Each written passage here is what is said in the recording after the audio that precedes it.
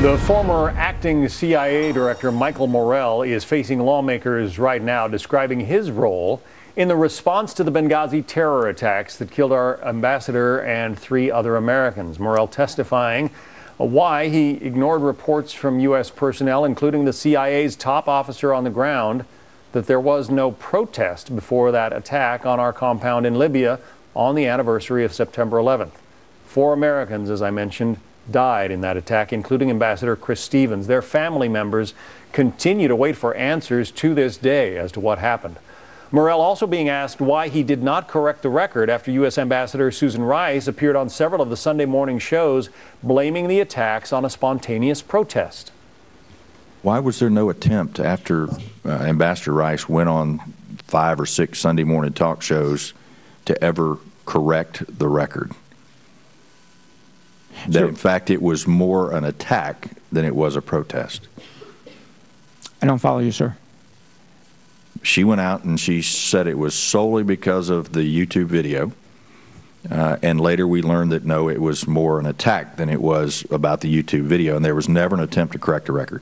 Well, sir, there's a difference between what it was, which was a terrorist attack, and what motivated it. Those are two completely different things. No doubt it was a terrorist attack. To this day, we still don't know the motivations of the people who conducted the attack because we haven't caught any of them.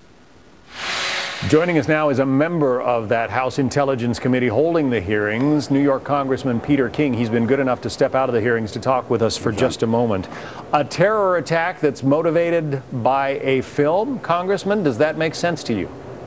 No, and that's why there's so much anger and frustration on the committee and among the American people. The administration has not told the truth from the beginning, and Michael Morell was part of that, uh, that whole process all along. Now, he gave a lot of excuses today and a lot of reasons.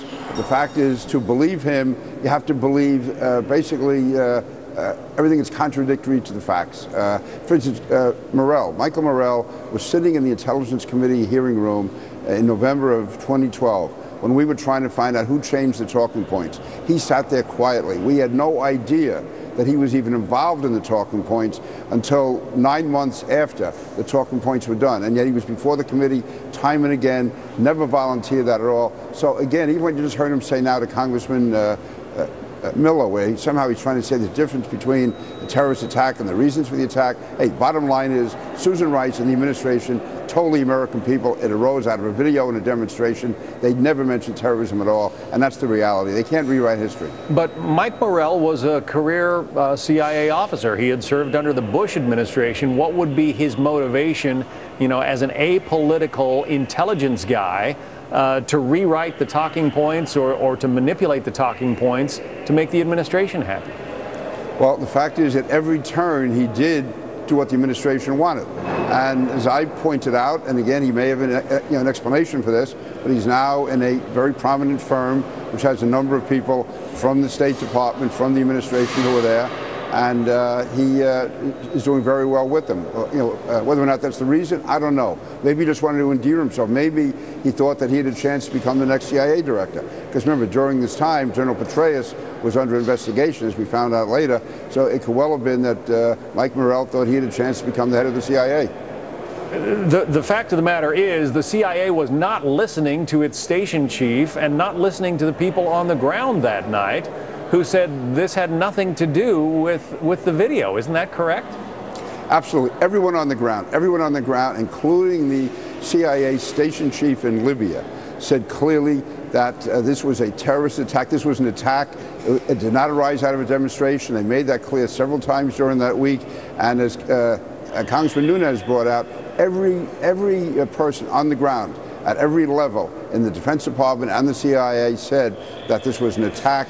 There's no evidence of a demonstration whatsoever. But most importantly, as you said, John, the CIA station chief said it and said it again and again that this was uh, that this was an attack, and he did not buy into the narrative at all that of the story that this was uh, arising out of a demonstration. And, and the horrible irony here, it seems to me, is that four Americans are dead. Their families are left looking for answers. The president promised that we would get to the bottom of what happened and we would apprehend uh, the people who killed our civil servants.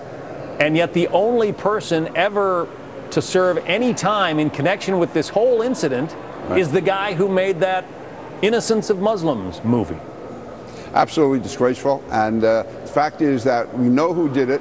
Uh, we have very good indications who did it. We cannot take the action against them we want to because under the law you have to be in Al Qaeda to be attacked in the way that it should be done.